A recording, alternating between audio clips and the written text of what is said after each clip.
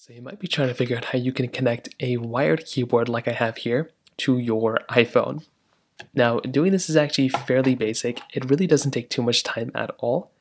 All you're going to want to do is find a way to connect this particular port right here to this iPhone. Now, depending on which iPhone you have and depending on which keyboard you have, you might be able to just natively plug in this particular type of port to this iPhone. Now, if this is USB Type A, this is not going to work. But if you have a USB Type C keyboard and if you have a USB Type C iPhone, you can actually just plug these in natively just like this, and that will go ahead and power this keyboard.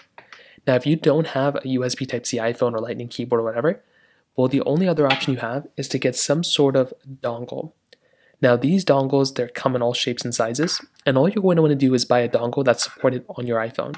If you have an iPhone 15 or 16, you can get a USB Type C dongle. If you have an iPhone 14 or below, then you're going to need to get a Lightning port dongle.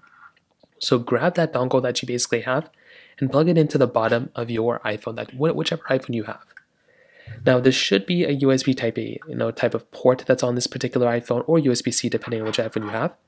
And what you want to do is you want to go and plug in this particular keyboard right inside of this port on this iPhone.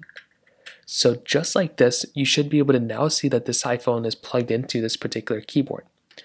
Now what you want to do then is you want to go and open up a some sort of like tab bar. So you can see right here, I'm in this text box right here. Now what I can do is I can go ahead, as long as these things are plugged in and this keyboard is powered on, I can then actually just start typing in on my keyboard right here. And you should see that I can go and start actually typing in just like this. I don't have to download any apps. I don't have to do anything. It should natively work as soon as you plug it in. So that's basically how it works. It's a very, very basic process. If you have any other thoughts or questions, let me know in the comment section below. Hit the like button, that would mean so much, but definitely hit that subscribe button. More importantly than everything else, I love every single one of you guys. Hopefully I'll catch you guys in the next video. Peace out, Sultan.